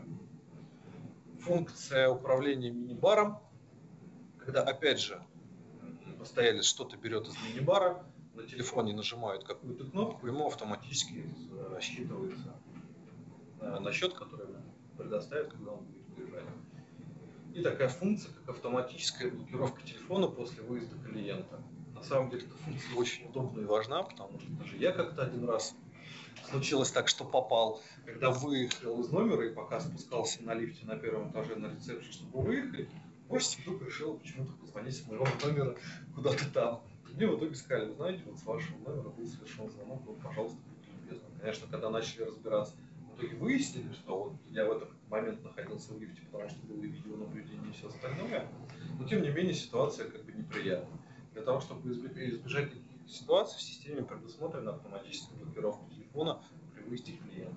Естественно, клиент у вас выходит из номера в определенное время, соответственно, система автоматически блокирует телефон. А, система эта а, встроенная в станцию. Здесь есть тестовый период, можно попробовать, посмотреть, а, стоит оно того, не стоит. Но мы считаем, что именно для небольших отелей это идеальное решение, потому что оно реально недорогое. Опять же, на сайте Epimatic вы можете посмотреть. Плюс есть различные интеграции с различными CRM-системами. За достаточно доступные деньги вы можете внедрить себя в отель PMS-систему. Ну и как результат всего, передаю слово Илье. Как результат всего, о, о чем мы сегодня говорили, а, у нас есть такая в нашей компании любимая концепция Lover SIP, когда все работает по одному протоколу SIP. И вот действительно использование нашего оборудования позволяет объединить его в единую коммуникационную сеть, когда все прекрасно коннектится друг с другом, видеонаблюдение, телефония, и условно говоря, там с видеотелефона можно позвонить на камеру, с камеры можно позвонить на телефон, открыть домофон и так далее. Эм, прекрасная совместимость всех продуктов позволяет повысить удовлетворенность и клиентов, и уменьшит ваши издержки. Кстати говоря, вот о камерах разговор зашел. Четвертый наш сегодняшний подарок – это IP-камера MailSite с поддержкой протокола SIP. Ну, в таком исполнении, как сейчас у меня в руках, а, тоже сегодня а, достанется кому-то за интересные вопросы. Я на самом деле уже мы близки к завершению всей нашей презентации. А пока я, наверное, буду рассказывать финальную часть, может быть, вы можете выбрать какие-то интересные вопросы и сразу подумать, э, кому вы подарили сегодня наши замечательные подарки. И финальная часть – это примеры проектов. Немножко поговорим о том, кто что, где и когда уже делал. Отель Романда Плаза в Китае, она была ориентирована на бизнес-аудиторию, они делали по всей территории бесшовный Wi-Fi а, от DigiNet на 222 номера и также 222 независимые точки доступа в каждом номере. А, для них было важно постоянный мониторинг и менеджмент сети в режиме реального времени. Ну, собственно, у них все прекрасно получилось. Другой отель в Китае даже на большее количество номеров также установил э, бесшовный Wi-Fi с помощью оборудования FTGNet. Но у них было другое требование, важно была интеграция с видеонаблюдением и с э, системой видеорегистрации. А здесь система видеонаблюдения была построена на другом бренде, мы же вот представляем в России MailSite, все так же прекрасно вместе работает. Примеры еще нескольких отелей, которые используют оборудование TGNet. В основном это все Китай, но уже э, весь мир это оборудование завоевывает. Не только отели, но океанариумы, другие зоны отдыха. Вообще любые помещения, где большой поток людей, постоянно меняющиеся, то есть это могут быть больницы, университеты, какие-то общественные приемные. В целом история с Wi-Fi плюс-минус везде одинаковая. И вот мы насчитали десятки сетей, в основном в Китае, отельных, которые за, как, за свой стандарт уже взяли использование оборудования именно TGNet. Эм, оборудование Fanvil, производители Fanvil тоже есть чем похвалиться. Например, э, отели Polygroup, их достаточно много в Китае, решили использовать Fanvil э, как тоже, опять же, стандарт своей отельной сети. И они выделили плюсы вот этих отельных телефонов, которые для них важны. Это стильный дизайн, как они отметили, богатый функционал, зарядку от USB, как очень важный пункт. Это первый китайский IP-телефон отельный с цветным экраном, модель H5. Ну, опять же, большой экран для отображения информации. Это вот плюсы, которые выделила сама сеть. Продукты Ястар как основу телефонной сети также используются по всему миру. Здесь даже нашли вот, к примеру, России, база отдыха «Спутник» Нижегородской области. А, там тоже интересно, используется шлюз, а, GSM-шлюз от Ястар для вообще, в принципе, доступа в интернет. То есть там нет проводного интернета, это в большом удалении от города. Но вот с помощью таких технологий тоже а, можно добиться интернет-соединений и телефонной связи. Отель в Греции, который также успешно использует продукты Ястар. При желании вот вы на слайде можете посмотреть, не будем заостряться, но крайне довольны. из нашей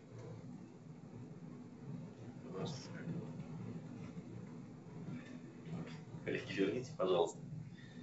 А, из нашей личной практики, вот э, в Алматы останавливались в отеле, увидели наши телефоны. Оказалось, что там не только телефоны, но и вся телефония устроена на наших продуктах IP АТС Yeastar и шлюзах. Ну, было приятно, в общем, хорошо, что Гранд Вояж сделал правильный выбор. Другие также примеры. Интересно, что сеть пиццерий Domino's Pizza по всей России использует телефоны Yealink, э, по сути, в своих колл-центрах. Там сотрудники должны одновременно и в офлайне обслуживать клиентов, и в онлайне поднимать трубки, когда кто-то звонит. Гарнитуры в этом случае не очень удобны. А вот такие простые в использовании телефона вполне используются, все, все довольны. Опять же, еще один пример из Алматы, как вот на ресепшенах смотрятся наши телефоны. И на этом на самом деле все. Как раз вот э, позитивными примерами мы хотели закончить. Оставим слайд с нашими контактами и Анны, и Игоря, и нас, представителей компании Эпиматика. Ну, может быть, еще раз, чтобы вы не путались, если вы какой-то конкретно хотите обсудить э, проект, посчитать, что нужно для вашей гостиницы, поговорить, может быть, о скидках, о специализированном решении, вам нужно обращаться к Игорю Чернову, компании Solutec, системный интегратор, который на основе нашего оборудования сможет предоставить вам лучшее решение. Контакты, опять же, есть все на слайде. Заходите на наш сайт. Самое лучшее. Что, может быть, вам удалось что-то выбрать, пока мы общались? Ну, мы, э, посовещавшись здесь совместно, решили, что, э, наверное, как это, наверное, ваши призы будут сегодня. Как-то плохо, что это я рассказываю. Все нормально. Что ваши призы будут э, достанутся сегодня ну, наиболее активным участникам нашего сегодняшней встречи. А, это, собственно, человек, который с ником сисадмин. Да, напишите, да, напишите, напишите нам, как что, вас что зовут вы, вы. И, и кто вы вообще. Ну, нам достаточно интересно это, да. Это э, Вячеслав, а Андрей Басков. Вот. А, а камеру кому? Камерой мы пока не определились. Хорошо. Обязательно найдем еще четвертого обладателя, напишем. Я думаю, что да. Напишем Может быть, у Андрея. Валерьевича есть какие-то предположения. Э, Сейчас мы еще раз все обсудим и опубликуем информацию отдельным постом. Да, я думаю, что это Потому будет что самым правильным решение решением. должно быть объективным. и коллегиальным. Да. Собственно, да. Э, Ваши призы никуда не убегут, не, не- не переживайте. се- Себе, себе Но кто их получит, чтобы никто не подумал, что это фейк, просьба сделать пост в сообществе, чтобы мы э, понимали, что, что призы дошли до вас. У нас как-то Андрей потерялся, Валерьевич. Да. Коллеги, А, собственно, наша полуторачасовая беседа, то, что мы хотели сказать, подошла к концу. С радостью пообщаемся, почитаем ваши вопросы в чатах. Э, Так что, Да. если что-то есть, напишите. Вот там что-то уже. Если есть еще какие-то вопросы, то, в принципе, наши контакты есть. И я думаю, что мы с удовольствием ответим на все ваши вопросы. Кому выбрали подарки, пишите свои контакты на связи. Да, действительно. Да. Но я так понимаю, что, Андрей, при регистрации же у вас в независимом гостиничном альянсе на мероприятии люди оставляли все контакты. Да, есть да, у нас есть все телефоны, все почты. Э, Мы со всеми свяжемся в течение двух дней.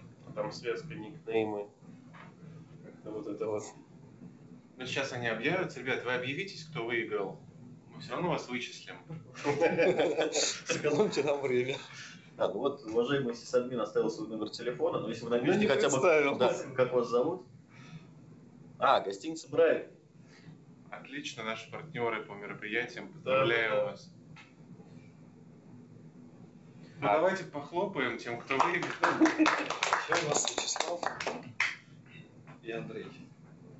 Друзья, мы, наверное, пока микрофон отключим. Если у вас есть какие-то вопросы, вы пишите, мы следим за чатом. Но если вопросов не будет, то всем пока, спасибо, что послушали нас. спасибо. Спасибо. Спасибо.